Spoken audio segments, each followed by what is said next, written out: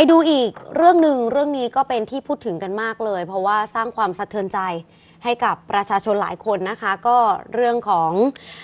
โรงงานพลุระเบิดที่จังหวัดสุพรรณบุรีนะคะ ซึ่งตอนนี้เนี่ยก็มีการจัดพิธีชาปนกิจร่างผู้เสียชีวิต จากเหตุการณ์โรงงานพลุระเบิด 3 รายครับขณะที่ทางจังหวัดเนี่ยก็ได้ประกาศปิดศูนย์ช่วยเหลือญาติ และก็ครอบครัวผู้เสียชีวิตนะคะ แล้วก็ยังคงเร่งช่วยเหลือเยียวยาครอบครัวผู้สูญเสียอย่างต่อเนื่อง ล่าสุดค่ะมีการสูบน้ำในคูในบ่อบริเวณใกล้เคียงกับโรงงานพลุครับพบชิ้นส่วน เป็นส่วนของร่างกายผู้เสียชีวิต พบอีกนะคะ เป็นชิ้นส่วนของร่างกายผู้เสียชีวิตนะคะ ด้านตำรวจเนี่ยยืนยันเลยว่าพิสูจน์อัตลักษณ์บุคคลครบ 23 ศพแล้วนะคะ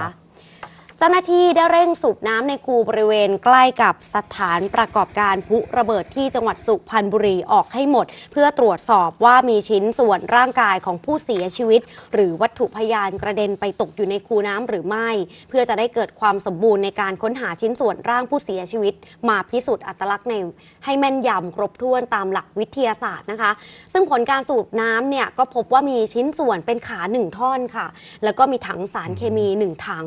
ถือว่าการค้นหาชิ้นส่วนร่างผู้เสียชีวิต และการเก็บพยานหลักฐานครบถ้วนแล้วนะคะ และจะได้นำไปตรวจพิสูจน์กันต่อไป เพื่อไม่ให้ชิ้นส่วนใดชิ้นส่วนหนึ่งของร่างที่ไร้วิญญาณขาดหายไปขณะนี้ค่ะทีมงานของตำรวจนิติเวชและสำนักงานพิสูจน์หลักฐานก็สามารถตรวจพิสูจน์เปรียบเทียบจนทราบแล้วว่า ร่างผู้เสียชีวิตเป็นใคร และเป็นญาติของใคร ครบทั้งหมด 23 คนแล้วนะคะ โดยจะดำเนินการมอบศพให้กับญาติรับไปบำเพ็ญกุศล ครบทุกคนภายในวันนี้ค่ะ นายประพินวิทย์ละอองแก้วหัวหน้าสำนักงาน ป้องกันและบรรเทาสาธารณภัย จังหวัดสุพรรณบุรี ได้ร่วมประชุมการให้ความช่วยเหลือเยียวยาผู้ได้รับผลกระทบ ทั้งการพิสูจน์อัตลักษณ์บุคคล และการรวบรวมข้อมูลหลักฐาน เพื่อจ่ายเงินชดเชยให้กับครอบครัวผู้เสียชีวิต โดยที่ประชุมค่ะมีมติปิดศูนย์ช่วยเหลือผู้ประสบภัยตั้งแต่วันเมื่อวานนี้นะคะ 20 มกราคม 2567 ซึ่งหลังจากที่ปิดศูนย์เนี่ยหน่วยงานที่เกี่ยวข้องก็ยังคงให้บริการประชาชน อยู่ที่วัดโรงช้างตำรวจ และก็องค์การบริหารส่วนตำบลสาลาขาวค่ะ ด้านนายอนุกูลปีดแก้ว ปลัดกระทรวงพัฒนาสังคมและความมั่นคงของมนุษย์ ก็เป็นประธานในพิธีชาปนกิจศพเหยื่อพุระเบิดที่วัดโรงช้างจำนวน 3 คนนะคะ คือนางพยาวบุญกล่อม แล้วก็สองสามีภรรยานางรำไพสวยค้าข้าว และนายโสพลสวยค้าข้าว ส่วนที่วัดพระท่า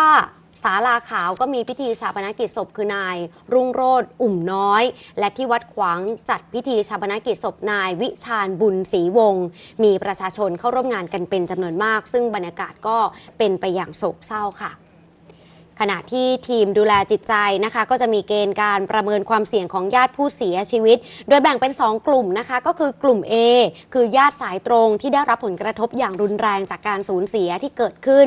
พร้อมทั้งประเมินความเสี่ยงของคนในชุมชนนะคะ ซึ่งก็พบว่าขณะนี้เนี่ยมีทั้งหมด 69 คนที่ต้องดูแลอย่างใกล้ชิด อีกกลุ่มหนึ่งก็คือกลุ่ม B นะคะเป็นกลุ่มประชาชนที่เป็นพื้นที่โดยรอบมีทั้งหมด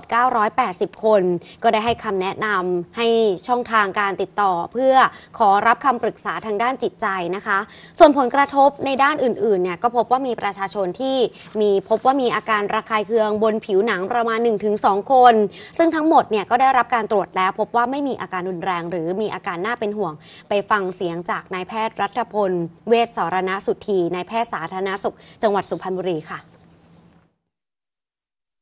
างทีมเรียกว่าดูแลสภาพจิตใจนะทีมแคทนะครับก็มีการเฝ้าระวังนะครับแล้วก็มีการติดตามอย่างใกล้ชิดต่อเนื่องนะครับแล้วก็ที่สำคัญคืออ่ายังมีเราเยาวชนนะครับที่มีการสูญเสียประมาณ 20 ราย ตรงนี้ก็รับการบูรณาการโดยทางผู้ว่าราชการจังหวัดนะครับบูรณาการทุกภาคส่วน ไม่ว่าจะเป็นพมนะครับไม่เลอะไม่ว่าจะเป็นเรื่องของหน่วยงานที่เกี่ยวข้องนะครับเรื่องการติดตามให้ความช่วยเหลือทางในเรื่องของสภาพทางเศรษฐกิจการศึกษา และก็สภาพจิตใจครับก็อยากจะขออนุญาตนำเรียนนะครับก็อ่าอยากจะให้สื่อสารในเชิงบวกนะครับไม่ไม่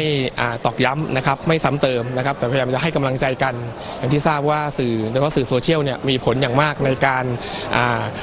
การเสพสื่อนะครับดังนั้นการการสื่อสารเนี่ยอยากจะให้เป็นในเชิงลักษณะการให้กำลังใจไม่ไปต้องอสื่อสารในเรื่องของการค้นหาคนผิด หรือว่าเรื่องของการสื่อสารภาพคนป่วยคนเจ็บย่างเงี้ยครับ นะครับในตรงนี้ส่วนจะทำให้เกิดภาวะเกิดการตอกย้ำแล้วก็เป็นผลทางกระทบทางจิตใจต่อไปครับ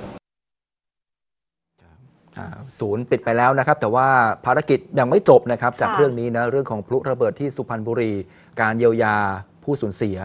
นะครับการดูแลสภาพจิตใจอย่างที่เมื่อสักครู่คุณพลอยเล่าให้คุณผู้ชมฟังไปเมื่อสักครู่ การสอบสวนข้อเท็จจริง เพื่อนำไปสู่การดำเนินคดีมันต้องหาสาเหตุค่ะนะครับ และสุดท้ายหาทางแก้ปัญหา ผมว่าโรงพลุที่เหลือหนาวหนาวๆร้อนๆ นะครับท้ายที่สุดแล้วก็คือการให้กำลังใจกันด้วครัยบก็ต้องพูดให้กำลังใจอย่า อย่างที่บอกเลยค่ะเมื่อกี้นายแพทย์ได้บอกไปบอกว่า อย่าได้ตอกย้ำใช้ครับคำพูดที่รุนแรงอืมหรือว่าอะไรต่างๆนะคะ ก็ต้องให้กำลังใจกันรวมถึงการเสพสื่ออการเผยแพร่ออกไป ก็ต้องให้ปลอดภัยแล้วก็ให้ระมัดระวังระมัดระวังที่สุดกันะคะอ่า